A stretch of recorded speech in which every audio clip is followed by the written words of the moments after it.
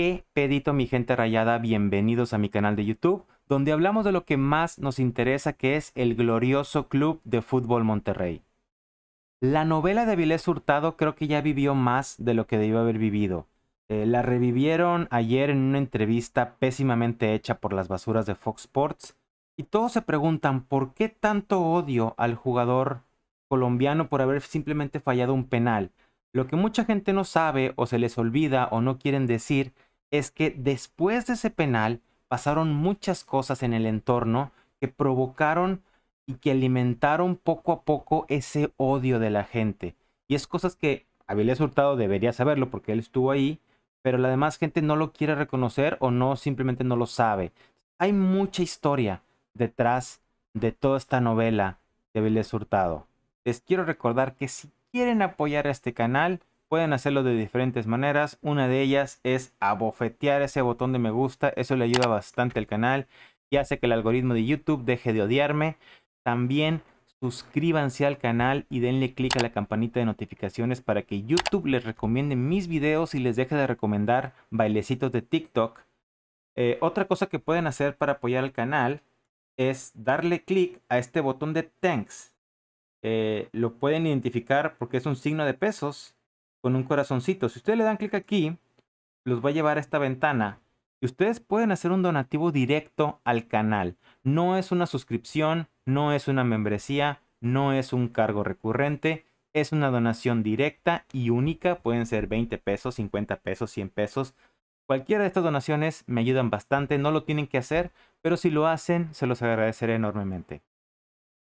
Voy a explicar todo el contexto alrededor de la novela de Vilés Hurtado porque mucha gente piensa que lo odian solo por haber fallado ese penal en la final regia y eso no es la verdad. Es más, mucha gente le recrimina más a Mohamed por haber puesto a Avilés a tirar que al mismo Avilés.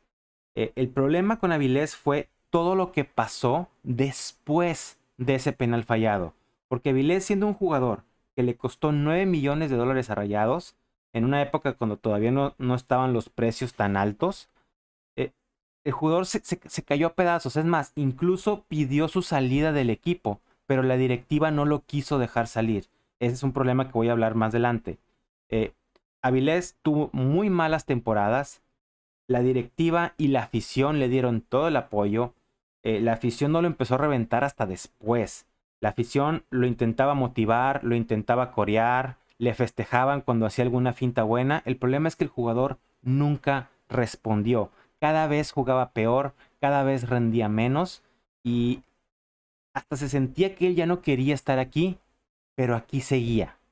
Un gran problema y lo que creo yo que agravó mucho esta situación de Avilés Hurtado fue la prensa regiomontana y el equipo de mercadotecnia de Rayados, porque cuando empezaron a reventar a Avilés por su baja de juego, no tanto por por haber fallado el penal, pero por la baja de juego, la directiva rayada se puso la misión de que la gente tenía que volver a querer a Avilés Hurtado.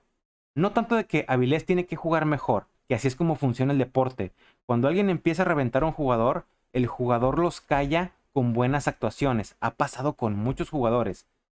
A Ricardo Osorio lo reventaron cuando llegó y nos cayó a todos. A Denigris lo reventaron cuando llegó y nos cayó a todos. Así ha pasado con muchos jugadores, así ha pasado en muchos equipos, con muchas aficiones, en muchos deportes. Así es el deporte. Pero Rayados, en lugar de querer recuperar al jugador deportivamente, lo quisieron recuperar en cuestión de publicidad. ¿Qué pasaba? Todos los inicios de campaña salía uno o dos comentaristas diciendo, Avilés Hurtado está volando en los entrenamientos y le está echando muchas ganas. Va a ser una gran temporada de Avilés Hurtado. Y empezaba la temporada, un gol. La temporada, jugando a medio gas, un jugador desconectado, fallando pases. Una basura, un, muerto Avilés Hurtado. Siguiente temporada, decían lo mismo. Volando en los entrenamientos. Ahora sí va a ser la temporada de Avilés. Lo mismo, y lo mismo, y lo mismo, por tres años tres años duró Vilés Hurtado después de fallar ese, penal en la final regia. Eh, también, ¿qué hacía el, el, departamento de mercadotecnia de Rayados? Veíamos a Vilés Hurtado hasta en la sopa. Cada publicación de Rayados tenía o a Hugo González o Avilés Hurtado. Lo veíamos a cada rato. La gente se empezó a hartar. La gente se empezó a molestar. Y era un jugador que simplemente no rendía. Lo ponían de titular a pesar de ser uno de los peores jugadores del equipo. Eso empezó a molestar mucho a la gente. Y de ahí empezó a nacer todo ese odio hacia Avilés Hurtado. Otro gran problema de la directiva anterior de Rayados es que no sabían vender jugadores. Siempre traías jugadores a billetazos, no te rendían y luego no podías deshacerte de ellos porque les estabas pagando un sueldazo o porque la directiva quería recuperar la mayor parte del dinero posible eh, en una sola transacción. Nunca se les ocurrió, vamos a prestar a este jugador a otro equipo, a ver si rinden ese otro equipo y luego ya lo vendemos bien vendido. No, ellos querían venta definitiva y dame todo el dinero que yo pagué por este jugador. Obviamente, Avilés Hurtado llegó en 9 millones de dólares y la, directiva quería 9 millones de dólares. Lo mismo pasó con, con Cardona, con el Conejo Benítez, con otros jugadores, ¿no?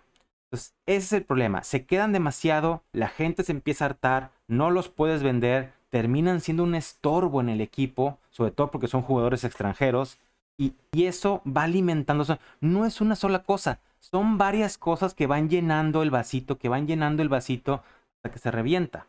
Y, creo que ahí no tiene tanto la culpa Avilés Hurtado, sino la directiva y la gente que lo estaba dirigiendo y la gente que lo estaba protegiendo. Sin embargo, la misma directiva le dio todo el apoyo a Avilés Hurtado, le puso psicólogos, le puso publicistas, eh, lo ponían a entrenar por separado, eh, lo ponían de titular en casi todos los partidos. Avilés Hurtado no se puede quejar de que no tuvo oportunidades en Monterrey. Eso nos lleva a lo que le dijo Rogelio Funes Mori de este equipo te dio de comer. Y mucha gente se está yendo con el contexto de, ah, sí, Rayados le pagaba, ahora le está pagando Pachuca. Que vamos a dejarlo en claro. Lo que le paga Pachuca no debe ser ni la cuarta parte de lo que le pagaba Rayados, porque en Rayados era uno de los mejores pagados del equipo. Dudo bastante que sea de los mejores pagados en Pachuca, eh, sobre todo por la edad y por lo, que, lo poco que hace en el equipo. Y me dio risa porque hasta la esposa de Avilés Hurtado hizo comentarios tontos en redes sociales cuando ella y el mismo Avilés estaban en el contexto completo de esta frase que hace Rogelio Funes Mori, ¿no? Y se las voy a explicar. Rogelio Funes Mori le dice, este equipo te dio de comer. ¿A qué se refiere? Nos tenemos que remontar al 2019, esa temporada en que Rayados queda campeón contra el América. A mitad de temporada, Avilés Hurtado se lesiona en un calentamiento antes del clásico, si no me equivoco. Esa lesión termina siendo una lesión del talón. Lo tienen que operar y se va a perder más de nueve meses. Se termina perdiendo casi un año. Avilés Hurtado. La cosa interesante es que esa misma temporada se le acababa el contrato a Avilés y el técnico, que en aquel entonces era Diego Alonso, ya le había notificado a la directiva que no entraba en planes. Entonces no iban a renovar a Avilés. Avilés se iba a quedar como jugador libre. Como jugador libre que se iba a perder un año por lesión. Que necesitaba instalaciones, doctores para hacer toda su rehabilitación, cosa que no las iba a tener porque ya no iba a estar en el club. Terminan corriendo a Diego Alonso. Viene Mohamed y Mohamed convence a la, directiva de que le den una oportunidad y le den apoyo a Vilés Hurtado para que no lo dejen desahuciado, lesionado y sin trabajo. La directiva, muy pendejos ellos, dicen, ok, vamos a darle un contrato a Vilés Hurtado por un año más o seis meses más. Vamos a evaluar cada seis meses cómo va el asunto de Avilés Hurtado. Y lo vuelven a contratar con el mismo sueldo. Le renuevan casi casi con el mismo sueldo. Avilés Hurtado se salva de quedarse sin trabajo en plena pandemia. Eso gracias a Rayados. Y sin trabajar. Porque Avilés Hurtado no estaba jugando. Porque se perdió todo eso por lesión. A eso se refería Rogelio Funes Mori con este equipo te dio de comer. Porque vamos a decirlo, Avilés Hurtado tenía 31 años. Perderse un año por lesión a esa edad, quedarse sin equipo, muy posiblemente o se hubiera tenido que retirar o se hubiera tenido que regresar a Colombia. No iba a mantenerse o ningún equipo del fútbol mexicano se iba a aventar esa apuesta por Avilés Hurtado. Ya después, cuando llega el Vasco Aguirre, deciden romperle el contrato porque con, con Mohamed, después de, que se recupera y sin demostrar nada en la cancha, le renuevan el contrato por como por 3, 4 años, sin merecerlo. Eh, obviamente, todas esas son partes de las tranzas que hacía Mohamed en el equipo. Y ya con, con el Vasco Aguirre, la, directiva decide eh, rescindirle el contrato, darle su carta y vete al equipo que quieras. Y llega como jugador libre a Pachuca. Ese es el contexto de lo que dice eh, Rogelio Funes Mori. Y creo que mucha gente o no sabe la historia, o no se quiere acordar, o no la quieren decir. Ahora, regresando a la entrevista, y lo que más me molesta, o una de las cosas que me molestaron de esta entrevista es que Avilés Hurtado demostró, sacó el cobre en esta entrevista, demostró que es una persona cobarde, un jugador pecho frío, y dice, no, yo nunca le festejé a la afición. Claro que le festejaste a la afición. Fuiste y le gritaste. Tan festejaste a la afición que tus mismos compañeros fueron a jalarte para que te alejaras de ahí. Y luego todavía te avientas el bailecito, vas a festejarlo otra grada y casi casi quieres dar la vuelta olímpica. O sea, Digo, que habrás tenido tus razones, ok, las tenías. Que, que se puede festejar, sí, se puede festejar.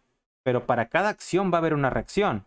A que no te sorprenda que se enoje la afición cuando les estás cantando un gol. A todos los jugadores les pasa. Incluso hay jugadores a los que les avientan cerveza simplemente por cobrar un tiro de esquina y nadie se pone a llorar por eso, porque Avilés Hurtado salió llorando de la cancha, por lo que le, no tanto por lo que hizo la afición, sino porque, por lo que le dijeron los demás jugadores eh, del equipo de Rayados. O sea, se dio cuenta que a lo mejor la había regado y, se le fue de las manos. A lo mejor se le fue de las manos a Avilés Hurtado.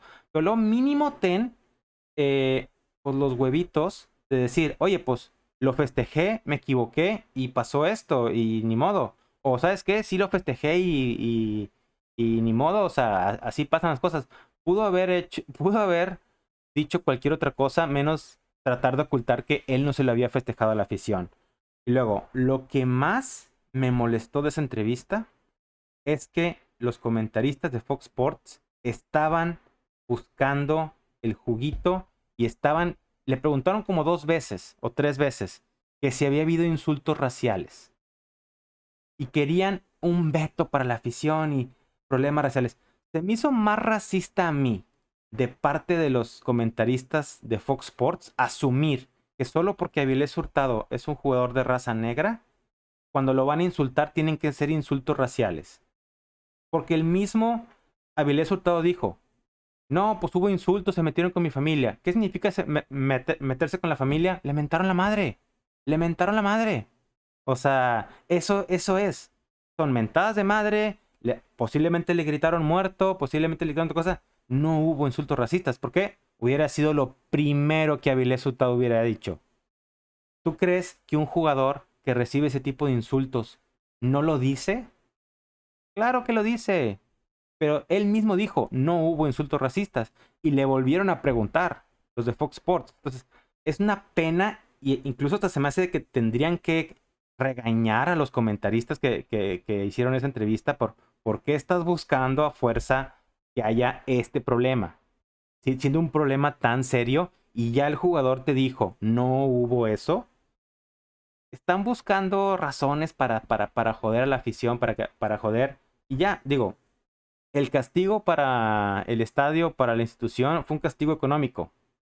Está bien, o sea, fue un castigo económico, aventaste cerveza a la cancha, eh, ya, económico. O sea, no, no le aventaste nada de que, o sea, fueron vasos de plástico, aventaste agua o cerveza. No fue nada grave. No tiene que pasar de algo, de algo económico. Que es muy cuestionable, que es muy, eh, que no está bien por la afición. Sí, no está bien por la afición. Pero tampoco quieras hacer más drama de algo que no pasó, que es los insultos racistas. Que e, e, es lo que muchas cuentas y muchos comentaristas están queriendo decir. Y ya el mismo jugador lo confirmó que no hubo nada de eso. Pero bueno, esto es todo lo que yo quería decir de este tema. creo que había muchas cosas del contexto que no se estaban diciendo en redes sociales o en programas o en otros lados. O sea, nadie estaba hablando del contexto fuera del penal fallado y hubo muchas cosas aparte del penal que provocaron todo lo que pasó. Otra cosa es esto que pasó con Avilés pasa en todos los deportes. En el fútbol americano hasta hubo una época donde prohibieron las celebraciones porque la gente reaccionaba a las celebraciones de los jugadores cuando anotaban. Es normal en el deporte. ¿Que es criticable? Sí es criticable. Pero no es algo que se les tenga que hacer tan extraño porque es algo que pasa. Pasa en todos los deportes, pasa en todos los países, pasa en todos lados. Eh, espero que no se haga un tema más grande de esto y que todos podamos seguir con nuestra vida. Avilés Hurtado tiene una final que jugar. Rayados tiene una nueva directiva, tiene mucho trabajo que hacer para la siguiente temporada. Esperemos que todos se pongan a hacer su trabajo.